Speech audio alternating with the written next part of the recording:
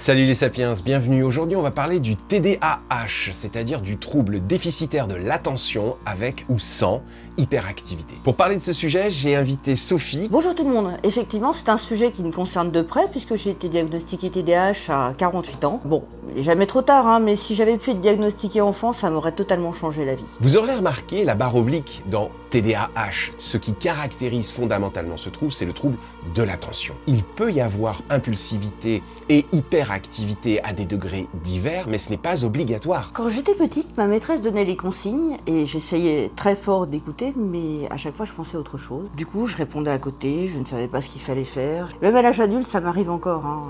Et j'ai très très longtemps pensé que c'était parce que j'étais bête. Parfois, je ne vais pas au bout de ce que j'ai à faire parce que je m'ennuie, parce que je mesure mal le temps nécessaire pour le faire. Quand on me donne plusieurs instructions à la fois, j'arrive pas à me souvenir de toutes. Je perds aussi facilement mes affaires et je passe beaucoup de temps à les chercher, même si je les avais dans la main deux minutes avant. J'oublie ce qu'on m'a dit et puis j'ai beaucoup de mal à lire. Si les causes précises du TDAH n'ont pas encore été définies, on sait à ce jour qu'il est une conséquence du fonctionnement défaillant de certaines zones cérébrales. On sait aussi que le facteur génétique joue un rôle majeur. Certains autres facteurs peuvent parfois être associés à l'apparition d'un TDAH. Il existe aussi des facteurs dits environnementaux qui peuvent influencer l'expression et l'intensité des symptômes. Le TDAH empêche le développement normal des fonctions dites exécutives, des fonctions qui se développent de la petite enfance jusqu'à l'âge adulte. Chez les personnes atteintes de TDAH, les fonctions exécutives ne vont remplir que partiellement leur rôle et c'est très handicapant pour ces personnes. Par exemple, la mémoire de travail, c'est une mémoire à très court terme qui sert à retenir les informations nécessaires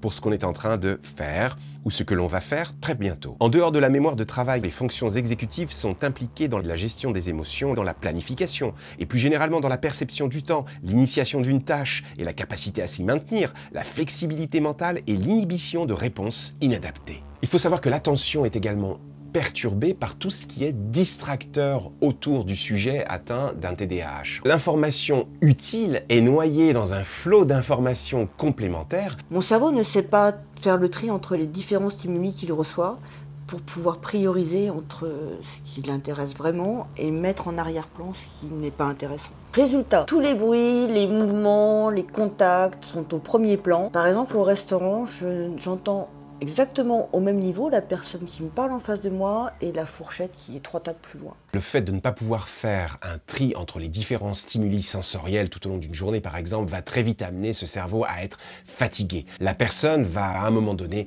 déconnecter et c'est là où ça peut être un petit peu euh, gênant pour l'entourage qui aura l'impression que la personne n'écoute plus, que ce qu'on dit n'est pas intéressant pour elle. C'est juste que la personne est surchargée fatigué mentalement. Si l'enfant fera preuve de bonne volonté pendant un long moment, s'il essaiera de se conformer au comportement qu'attendent les enseignants, les copains, les parents, pour beaucoup des enfants atteints de TDAH, il y aura à un moment donné un rejet. Et ce rejet sera vécu comme une injustice, comme quelque chose de douloureux.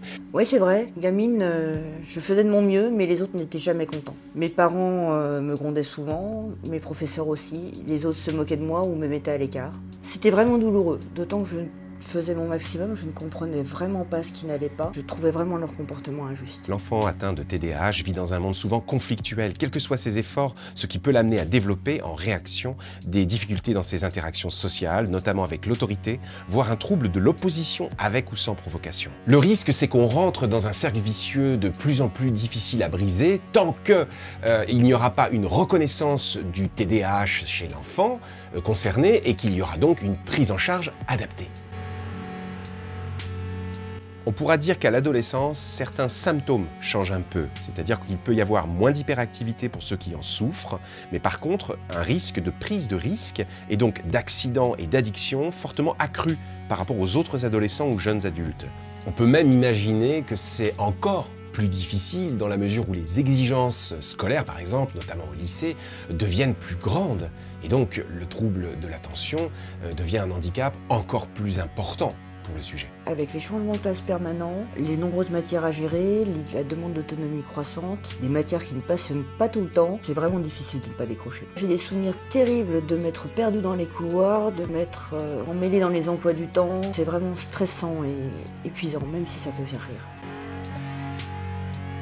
on estime qu'au moins deux tiers des enfants présentant un TDAH seront gênés à l'âge adulte par ce trouble. C'est difficile de gérer un budget, de faire son administratif en temps et heure. C'est difficile de gérer sa maison, de s'occuper de ses enfants. Euh, des fois même euh, simplement faire des pâtes, euh, ça devient vraiment un exploit. Et puis il y a les retards chroniques au travail, les rendez-vous oubliés, les délais non respectés. Parfois j'ai tellement peur d'oublier et qu'on se moque encore de moi qu'il euh, m'arrive d'être très très en colère contre moi. J'ai la rage d'avoir euh, encore fait une erreur et du coup ça me fait encore plus bugger.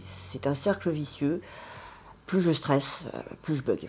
Voici maintenant deux tableaux qui concernent les critères reconnus pour les deux entités diagnostiques que sont l'inattention et l'hyperactivité impulsivité. N'hésitez pas à les consulter en faisant un arrêt sur image. Ce sont des bons indicateurs du trouble et si votre enfant en présente quelques-uns, eh bien il serait intéressant peut-être d'envisager un diagnostic. Le mieux, c'est de se tourner vers une association euh, liée au TDAH qui pourra vous orienter vers un professionnel de votre région qui maîtrise le sujet et qui pourra vous expliquer largement en quoi consiste un diagnostic TDAH. Adulte ou enfant, la prise en charge de ce trouble va vraiment changer la vie des personnes qui sont concernées, à offrir une bouffée d'oxygène. J'aimerais saluer les professionnels, euh, les psychologues et les psychiatres euh, qui aujourd'hui se battent pour une meilleure prise en charge du trouble en France et une meilleure reconnaissance. Un grand merci à toi Sophie pour avoir offert ton témoignage tout au long de la et pour m'avoir aidé à construire cette vidéo. C'était vraiment une super collab.